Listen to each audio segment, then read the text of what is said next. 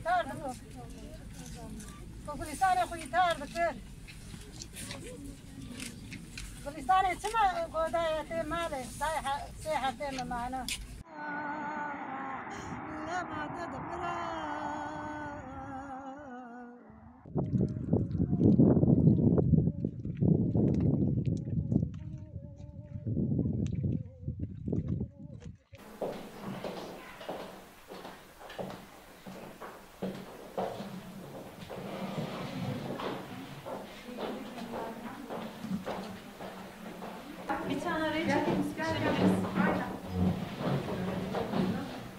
Basına ve kamuoyuna.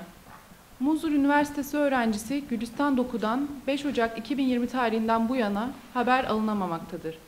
Tunceli Cumhuriyet Başsavcılığı tarafından başlatılan soruşturma bir yıldır devam etmektedir. Gülistan'ın telefon sinyalinin tamamen kesildiği yer olan Sarı Saltık Viyadüğü Uzunçayır Baraj Gölü'nde aralıklarla yapılan arama çalışmalarından hiçbir sonuç elde edilmemiştir.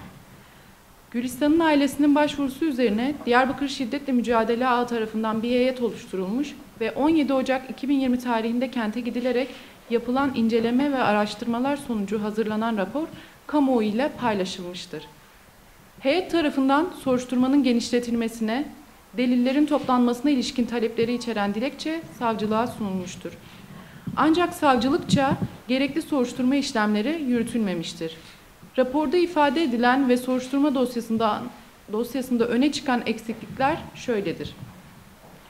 Gülistan'ın eski erkek arkadaşı Zaynal Abakarov'un üvey babası, annesi ve kız kardeşinin 4 Ocak 2020 günü Gülistan'ın evlerinde bulunduğu zamana ilişkin vermiş olduğu ifadelerdeki çelişkili beyanlarının üzerinde durulmadı. Çelişkiler giderilmedi. HTS kayıtlarının incelenmesi sonucu Zaynal'ın evde olduğu söylenen saatlerde evde bulunmadığı anlaşıldı. Zaynal gözaltına alınmadı. Telefonuna ve teknik cihazlarına arama, el koyma, inceleme işlemleri yapılmadı. Zaynal'ın Gülistan ve Gülistan'ın yakın arkadaşlarıyla yapmış olduğu dün çok kötü bir şey oldu. Korkuyorum.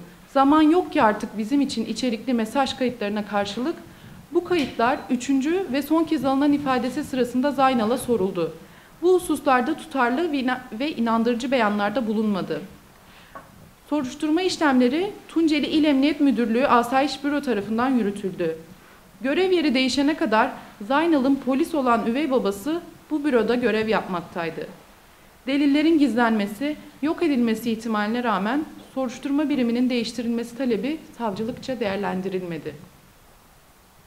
Sarı Saltık Viyadüğü'nü ve 1900 metrelik Mobesa kameralarının bulunmadığı alanı gören Munzur Üniversitesi'ne ait kamera sisteminin teknik incelemesi yapılmadı.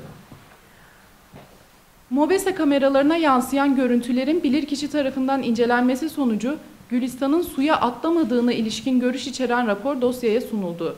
Soruşturmanın genişletilmesi, aramaların karada da yürütülmesi taleplerine rağmen gerekli işlemler yapılmadı. Zaynal'ın üvey babasına ait olan ev ve araç ile araç ile Gülistan'ın 5 Ocak günü kullandığı şehir içi ulaşım aracında kan, tükürük, parmak izi gibi bulgulara ilişkin inceleme ve delil toplama işlemleri yapılmadı. Zaynal ve üvey babasının 5 Ocak günü nerede bulunduklarına dair kesintisiz bir tespit yapılmadı. 5 Ocak günü Gülistan ve Zaynal'ı izlediği tespit edilen şüphelinin kimliği tespit edilmedi. Bir yıldır Gülistan'ı bulmak için hukuk mücadelesi veren Gülistan'ın annesi ve babası toplantı ve gösteri yürüyüşü yaptıkları için gözaltına alındı. Dersim'de Gülistan'ın akıbetini sormak için toplanan arkadaşlarının ve kadın örgütlerinin eylemleri yasaklandı. Gülistan Doku nerede diye soran Roza Kadın Derneği üyelerine haklarında yürütülen soruşturmalarda bu eylemlerin neden yaptıkları soruldu.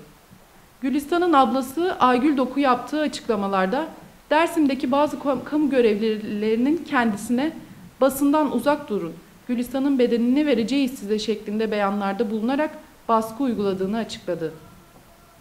Gülistan'ın ailesinin yakınlarının acı içinde Gülistan'ı bulmak için yürüttüğü hukuk mücadelesine karşı baskı ve gözaltılara maruz kalmaları toplum vicdanını yaralamakta, adalet duygusunu zedelemektedir.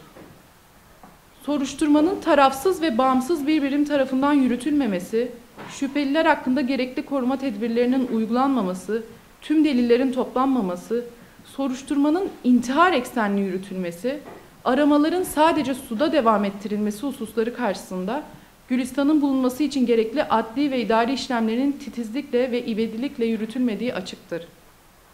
Kadınların her gün maruz kaldıkları taciz, tecavüz, şiddet, kaçırılma, ısrarlı takip ve öldürülme gerçekliği karşısında bir yıldır kayıp olan Gülistan'ın soruşturma dosyasındaki ihmaller silsilesi ve ayrımcı pasiflik hukuken ve vicdanen kabul edilemez.